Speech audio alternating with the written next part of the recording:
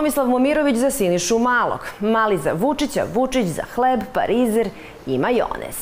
Namaži za grizi, progutaše sirotinski doručak. I nije u redu da sumnjamo u namere. Dešava se i najbogatijima. Počinje 7 na N1, ja sam Maja Nikolić.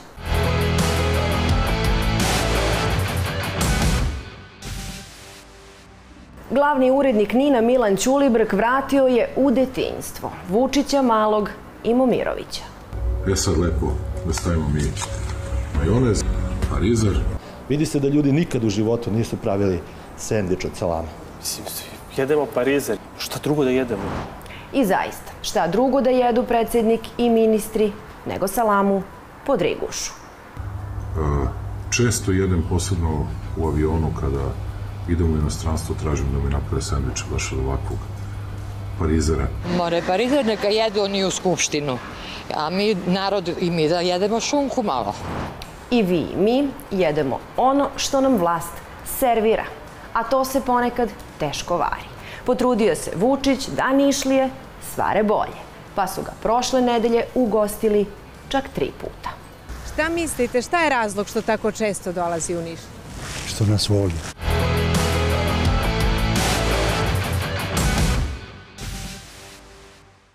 Prebrojao je predsednik u glavu ljude koji su ove godine išli na more. Ali izgleda brojao je i one koji su more gledali samo na televiziji uz sendvič s parizerom. Tako se ispostavilo da je ekonomski tigar ipak malo neuhranjen. Tvorci ove sintagme i one o zlatnom dobu, zato su rešili da javno podele sudbinu svog gladnog naroda. Da li u vladi, u skupštini, u izvršnim organima vlasti za doručak jedu taj parizer? Samo me to interesuje. Znam ja da ne jede Ćulibrk parizer. Ako ga oni jedu, onda bi trebalo da ga ponude narodu. Ali bilo bi dobro da ministar Momirović, predsednik Vučić, ministar financija Siniša Mali u sredu odu prvi da degustiraju tu salamu pre nego što je ponude svima nam. Baš ću da uzmem, da popijem i jogurt onaj koji smo pronašli i parizer. U sredu idem lično da kupim, sve ću telefonom da snimim i to će da nam bude doručak. Da vide da se mi ne igramo sa narodom, već da brinemo o narodu i da mislimo na narod.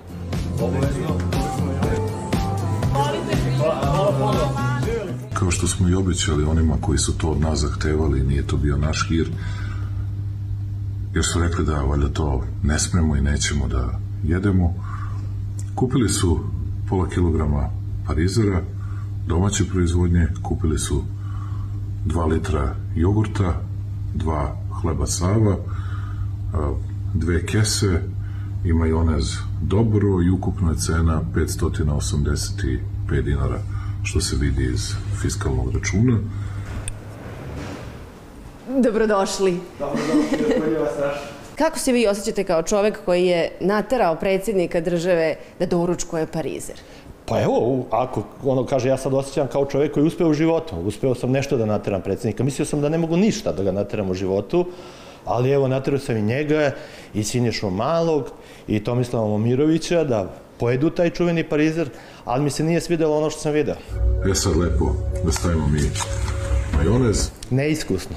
Precizno. Kakav danak neiskustvo? Stavimo majonez ovako na pola hleba, kao što smo uvek radili. Vidi se da ljudi nikad u životu nisu pravili sendvič od salame. Ovo je sečano, sad možete kupiti sečanu salamu, ne morate kao ranije. Parizer, Kako je vama a, bio taj doručak? Da, taj kakav je bio parizer doručak, taj, da. Tako dobar. Do, doručak je bio poprilično sličan kao i svaki dan. Ja ne znam gde ti ljudi žive. Mislim, jedemo parizer. Šta drugo da jedemo? stavite Videlo se da ne ume da napravi sendvič. Dakle, ono čime hrani svoje birače, on ne ume da napravi. Trebalo je davno da nauči. Na pola kilograma ide bar 100 grama prizra, a ne tri parčeta.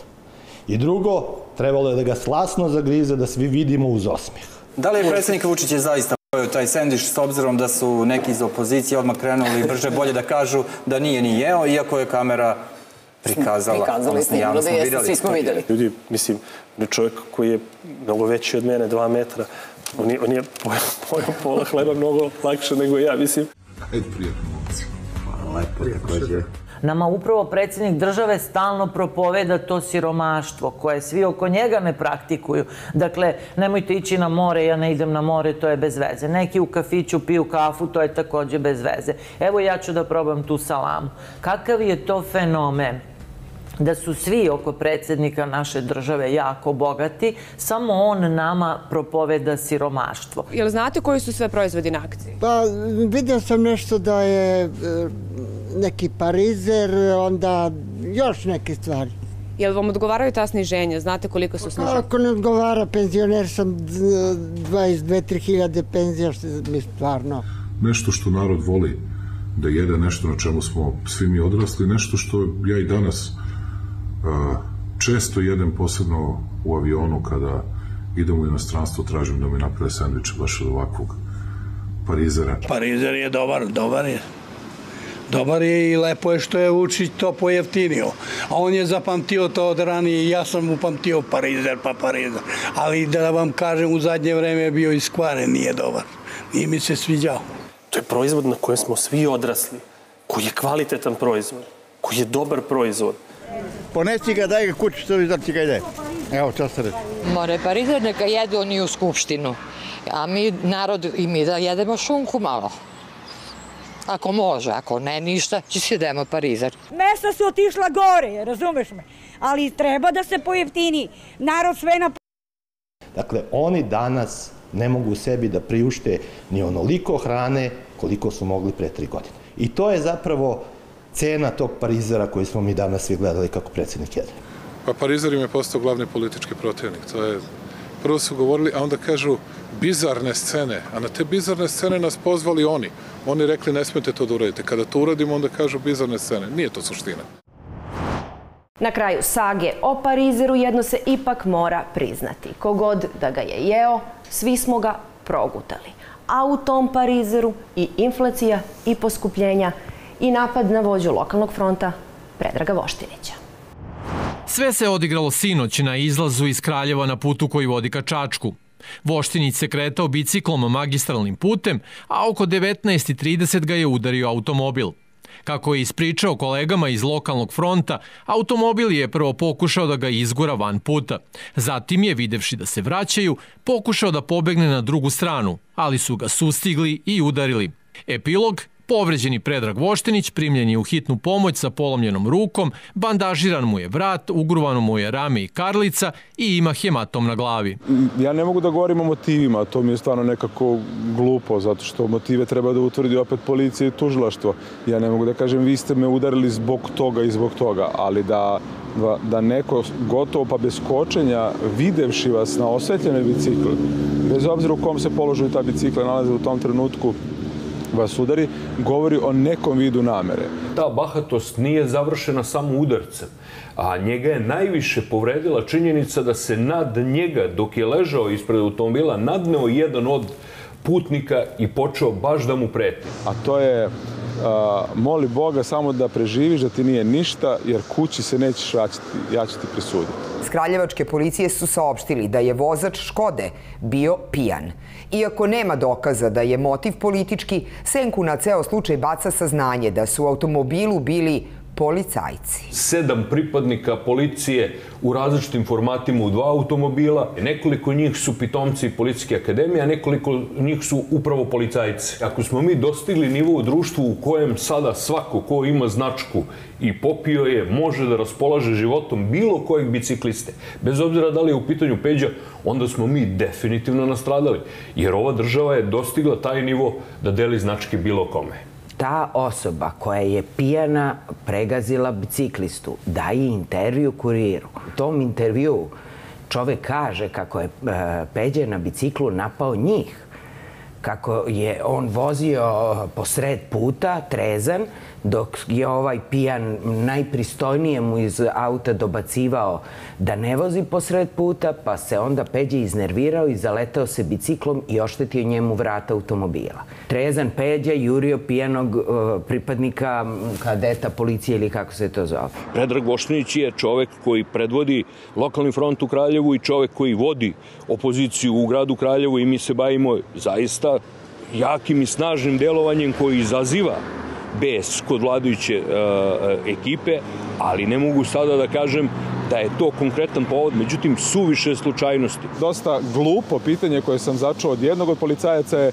ali ti misliš da je bilo politike u svemu ovome? Ja kažem, pa zaista ne mogu da tvrdim ni da, ni ne. A on kaže, a da li su oni tebi nešto rekli ovo ti je zbog politike kad su kretali sa lica mesta? Mislim, zamislite ta, takvu parodiju u kojom će tako neko nešto izgovoriti. Dakle, to se nije desilo. Da će se dokazati čisto sumnjam, a da je, da je namerno nažalost, dosta mi izgleda da jeste po svemu. E, ovo je jedan pokušaj ubistva ako se stvari ne, ne drugačije ne pokažu, a čini se da neće. E, pokušaj ubistva Voštinića, navodno. Dakle, moramo najozbiljnije shvatiti ono što se desilo Predragu, moramo pokazati da je to ovom društvu neprihvatljivo i moramo videti ko je za to odgovoran i ti ljudi moraju snositi odgovornost. Dakle, što se nas tiče, to, to je kao da smo svi mi napadnuti, kao da su napadnuti svi građani Srbije do, dobar sam duhom, znači mi ljudi, znači mi ovaj, komunikacija s ljudima, ali od povreda su uglavnom sve sanirane, trajeće jedno 4 do 6 nedelja, rekli su mi neka zarastanja i, i previjenja i tako to. I to je Peđa. On će, on će prepobediti to i bit će sve okej. Okay. To jeste Peđa, ali ono što ste čuli je Vučić. A pred njega se ne ide ukoliko više puta niste proverili.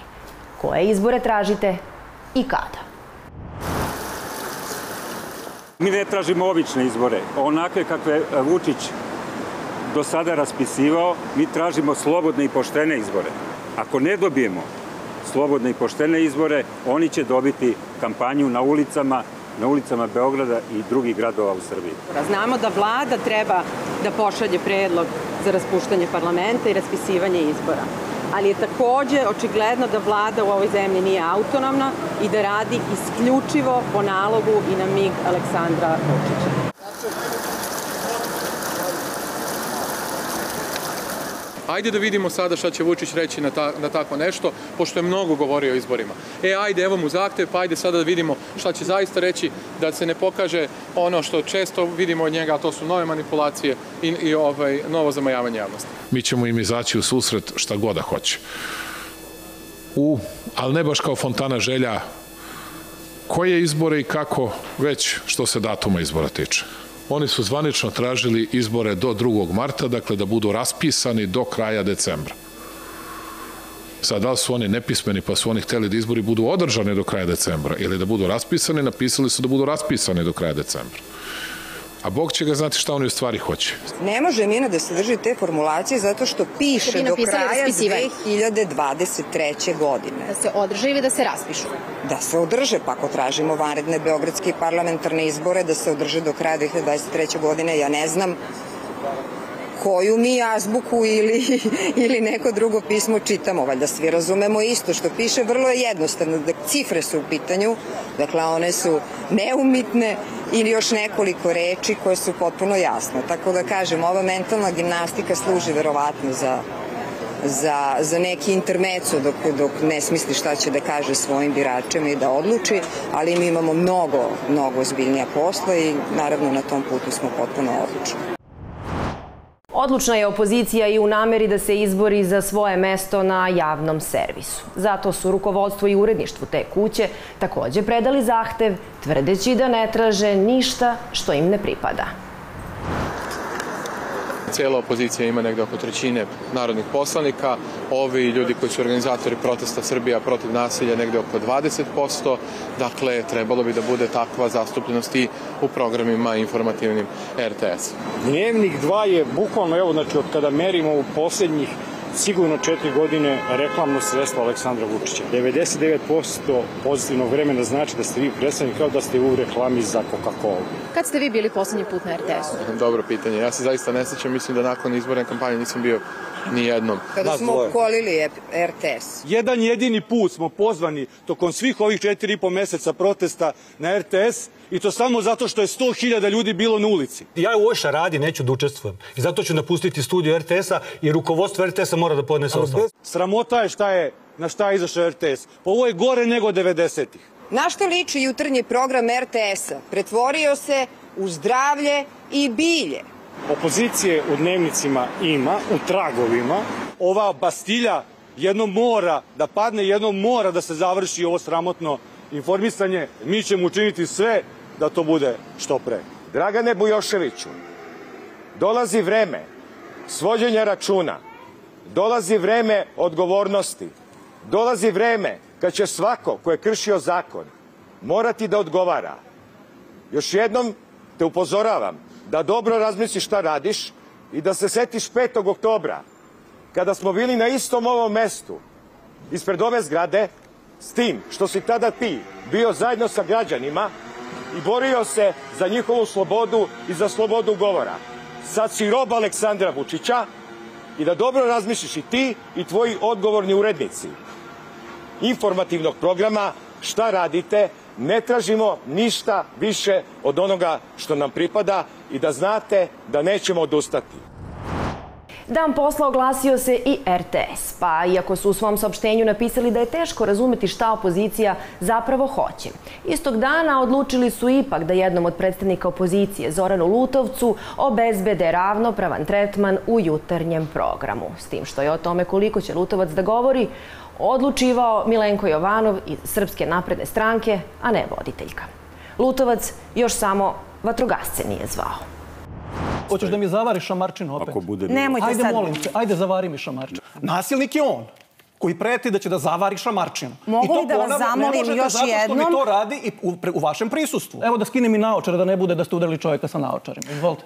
Gospodine Jovanov, mi smo da ne ozvučeni sad Ja ću svi. se da bude potrebe. A volite, da, evo vidite. ja ću- Gospodine Jovanov, gospodine- Mene ne obavezuje da budem sadista. Ovaj čovek bi terao ljude na goli otok i streljao. Jel možete da ga možete, Pozovite obezbeđenje ili hitnu pomoć. Pogledajte to lice. To je lice onih masovnih ubica, onih komunističkih... Ja vas molim, ovaj molim da Da, upodobite rečnik pre podnevu, jutarnjem programu javnog da servisa. Gospodine tip Jovanov, Koji ima potrebe da zavari šamarčine, koji bi ubijao... Gospodine streljao. Jovanov. Molim vas, pozovite hitnu pomoć. Molim, gospodine Nije vam Jovanov. dobro, Vama nije nije- Gospodine. Jovanov, ja se obraćam vama. Da bežite opet Vi niste svesni, imate trenutno, imate udar, niste svesni. Imate nekog dežurnog lekara. Gospodine. Jovanov, samo... Što je vam treba? Možda mu stvarno treba hitna. Jel vam treba lekar? Opet se Gospodine- oblizujete. gospodine Jovanov, vama se obraćam, molim vas. Pao mi je šešelj. Popijte vodu. Pao mi je šešelj. Je. I vama je pao šešelj. Jel tako? Dakle. A to je duhovito. Do kraja emisije nećete završiti nijednu rečenicu. Pa bravo, jeste to naučili u naprednjačkoj akademiji? A šta se govorim ja. Pa šta se pita, a- o čemu da se ti pitaš? o prelaznoj vladi, Molim vas gospodine za drugi Jovanov. put pozovete nekog Gospodine- normalnog u Gospodine studiju. Jovanov, ja vas Onda vi molim nećete doći nikad u emisiju. Ako treba da normalno. dođe neko normalan u studio, vi ni jedan put, nijedan put nećete doći u ovaj studiju.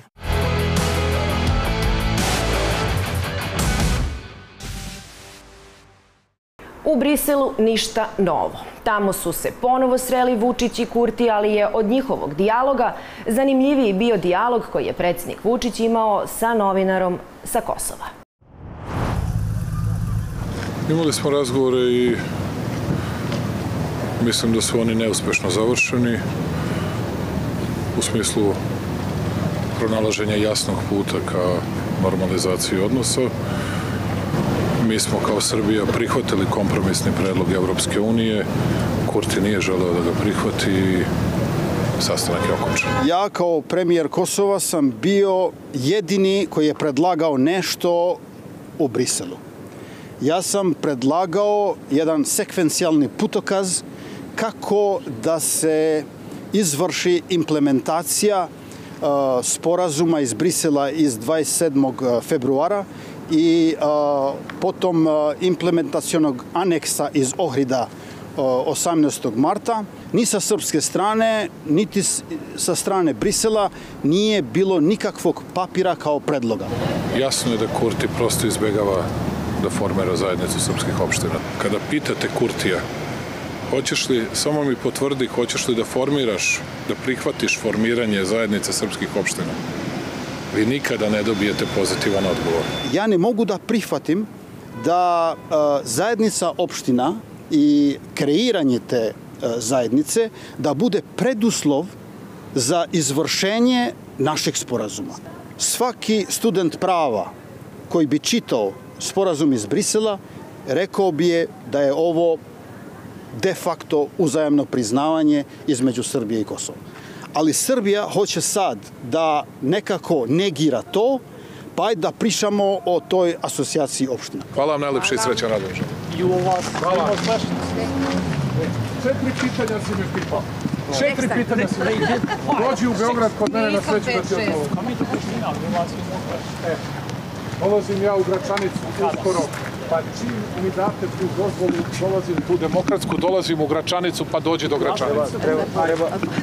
Ne mogu da pitam Turcija, pitam svoj narod, a narod hoće da me vidi. Ako narod sa Kosova želi da vidi Vučića, onda jug Srbije praktično ne može ni da živi bez njega. Jer samo je u Nišu predsjednik za poslednjih sedam dana bio tri puta. Dešava se priprema za proslavu Dana zastave ili to je dolazak predsjednika Aleksandra Vučića treći put za 7 dana u naš grad.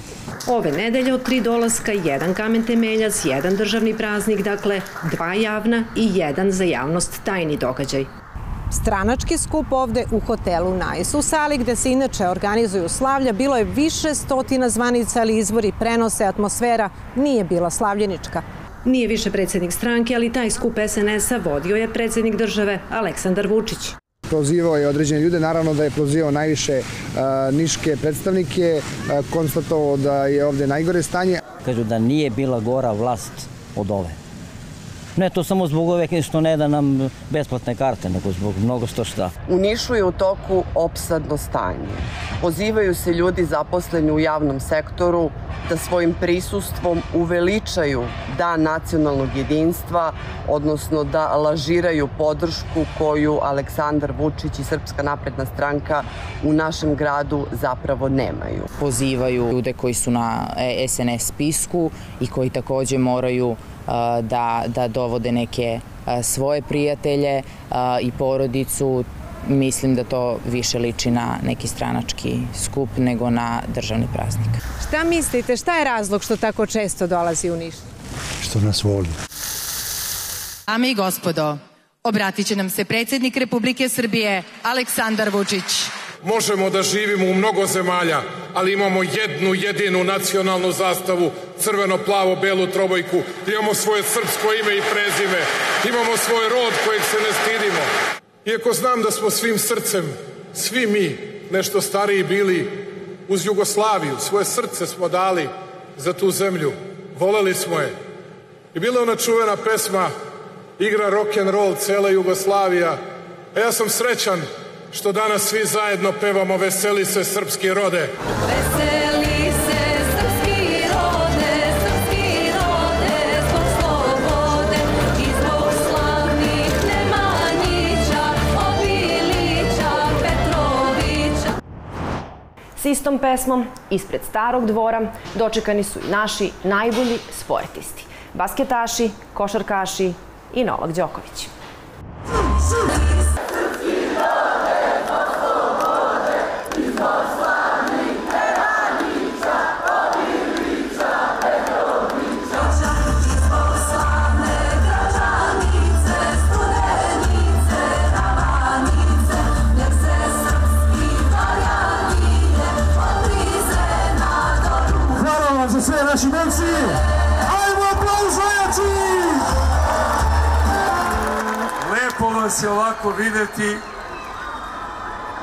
Počastvovani smo da ste došli stvarno, ono, pitam se da li smo stvarno zaslužili da budete u toliko velikom broju.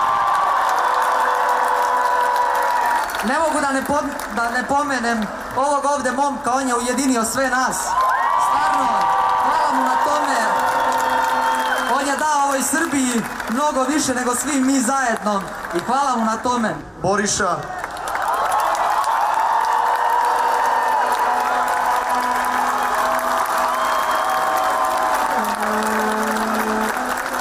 Boriša je heroj nacije i zaslužuje da mu svi skandirate. Boriša, Boriša, Boriša, Boriša. Da čestitam našim šampionima, basketašima i košarkašima. Redki su trenuci kad se ostaje bez reči, ovo je sigurno jedan od tih, mislim, tresem se, ne znam šta da kažem. Ja ćemo pevamo zajedno za naše basketaše, košarkaše, za Borišu, za Noveta,